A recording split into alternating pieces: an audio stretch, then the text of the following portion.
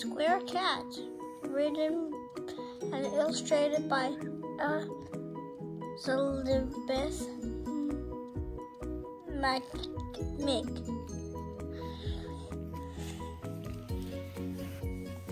Eula is a square cat living in the round world. Try as she might, Eula doesn't just doesn't fit in. Circle skirts, hoop earrings, donut galore. Nothing can change who she really is, a square cat. But what if her uniqueness is what makes her truly special?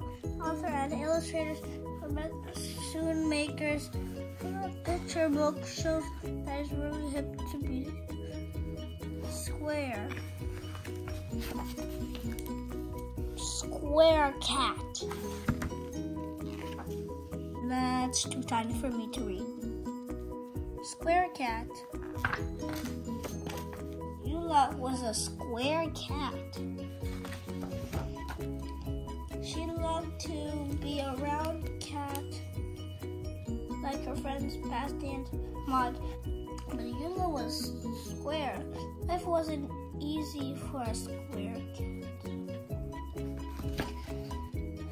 Households were possible, and when Eula tipped over, it was hard to get back up. Eula was, was invisible in the city. And her favorite circle skirt didn't quite fit right. Made her look short, and stripes were just plain wrong, up and down or back and forth. Yulia was unhappy as a square cat, so unhappy that she lost her purr. Esty and Maud tried to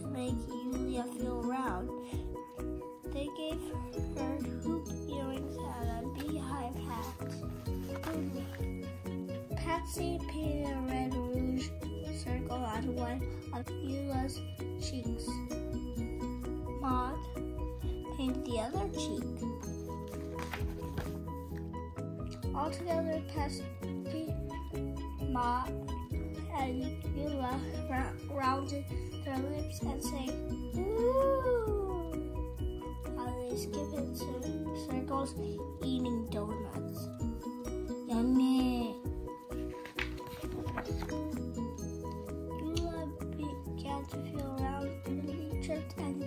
Over.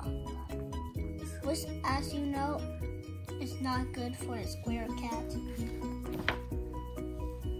That gave Patsy and Maud an idea. They each slipped into a box. They became square cats just like Eula.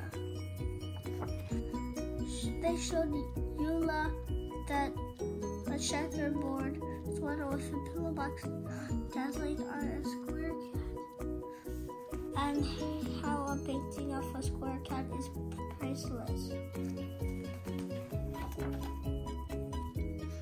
As for mouse holes, they're impossible for trolls, cats, round or square. Squeak! Eula was surprised. She didn't know all that.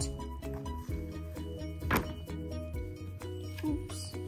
Pat and Maud showed Eula that square cats are easy to stack. Are natural billboards. And they're actually square dancers. Uh, Eula jumped with joy and tipped and got stuck, like always. Cassie and Maud jumped and tipped too, and got stuck next to Eula. Stuck flat on their square backs, the three cats gazed into the bookshop. Only a square cat could have this view. Purred. Patsy and Maud smiled.